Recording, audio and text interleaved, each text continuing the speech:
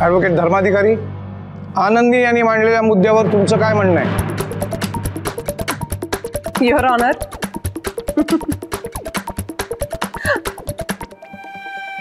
मला ना ही सगळी गंमत वाटतीये खरं तर.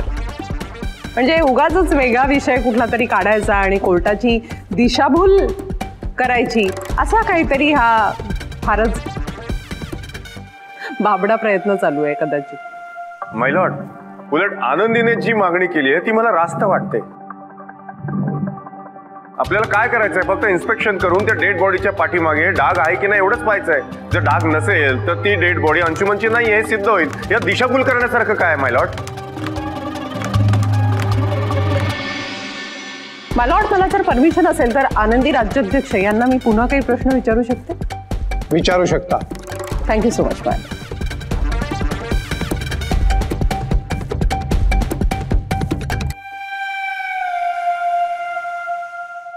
Anandi Rajyadhyaksha कोर्टात आतापर्यंत मी जे काही सिद्ध केलं, तुमच्या बोलण्यातनं ज्या ज्या काही गोष्टी आल्या, ते मला असं वाटतं पुरेसं नसावं बोलते म्हणून आज तुम्ही कोर्टासमोर, तुमच्या पहिल्या नवऱ्यावर तुमचं केवढं प्रेम आहे. हा पाठीवरचा, डाव्या बाजूचा, लाल रंगाचा डाग वगैरे, हे सगळं तुम्ही आज कोर्टासमोर सांगताय. काही हात काही हात एकदाच सगळं सांगूनच टाका ना.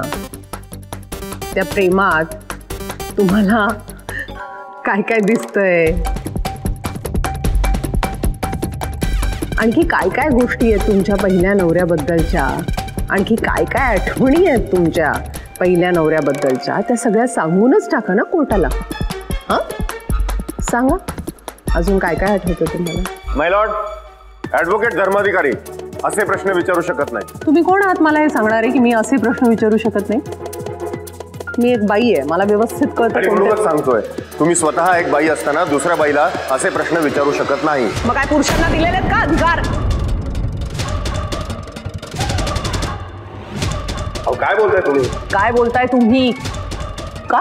एक बाई दुसऱ्या बाईला प्रश्न विचारू शकत नाही? असं म्हणायचंय तुम्हाला? तुम्ही अपमान करताय भर कोर्टात माझा. एक बाई म्हणून मला हिणवून माझी मर्यादा काय हे तुम्ही भर कोर्टात मला सांगताय का?